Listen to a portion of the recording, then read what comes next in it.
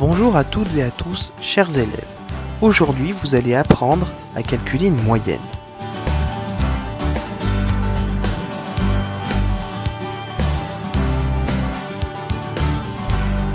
Pour ce faire, il faut faire la somme de toutes vos données et diviser par le nombre total de données, qui s'appelle aussi l'effectif total. Dans ce calcul, il faut d'abord procéder à l'addition et ensuite faire la division.